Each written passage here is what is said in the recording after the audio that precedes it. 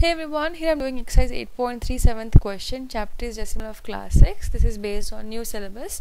Question is Ravi purchased 5 kg 400 gram rice, 2 kg 20 gram sugar, 10 kg 850 gram flour. Find the total weight of his purchases.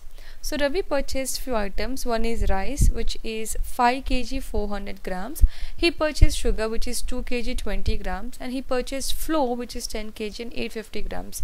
What we have to find out? We have to find out the total weight. Total weight means we have to add all these values. So let's write on what we know from the question. So weight of rice is 5 kg and 400 grams so we're going to convert this 400 into kilo because we want everything into kilo kg. So when you convert this grams into kg we're going to divide this. When you're converting a smaller unit to higher unit we always divide. So with what number you should divide?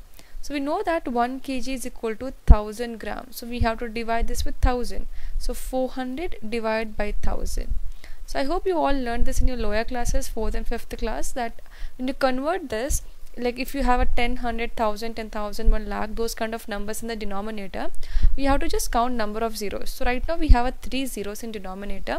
So after three digits from the right side remember from the right side you have to place decimal. So it will be 0 then 0 and then we have a 4 and then we have a decimal. So after 3 digit I'm placing decimal from right side and then 0 so 0 0.400 so 5 kg plus 0 0.400 kg is equal to 5.4 kg. 5.400 kg or you can just simply write down 5.4 kg. Similarly the second number we have a 2 kg and 20 grams. So we have to convert this 20 grams into kg again. So divide this 20 by 1000 so we have three zeros in denominator. So after three digits so 2 0 then 2 then 0 then decimal and then 0 so 0 0.020 so it will be 2.020 kg the next one is uh, 10 kg weight of flour is 10 kg and 850 grams. So convert this 850 grams into kilo. So 850 divided by 1000 so from right side so it will 0 5 8 place decimal and then 0 so 0 0.850 so when you add this with 10 it will be 10.850 kg. Now add all these values. So when you're adding the decimals I are going to use a lining up method where I'm going to line up the decimals. So first number is 5.4 right? Second number is so before I add this I'm going to put decimal. Now look here we have 2.020 on the left side that is a whole number it is 2 on the right side we have 0 to 0 so 0 to 0 so on the above like uh, along with the 4 you can see a blank space. You can leave the blank space like that or if you want to avoid confusion you can just place zeros.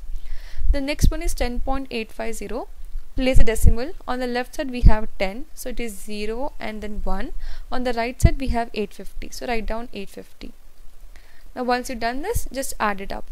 So when you add zeros you will get 0 5 plus 2 is 7 8 plus 4 is um, 12 so 2 and then 1 will be carry. Now add this 5 plus 2 is 7 7 plus 1 is 8 and then we have 1 so 18.270 so 18.270 kg is a total weight of his purchases. So that's it. I hope this question is clear. In case you have any other question or doubt you can drop a comment. I'll try to make a video on it. Thank you so much for watching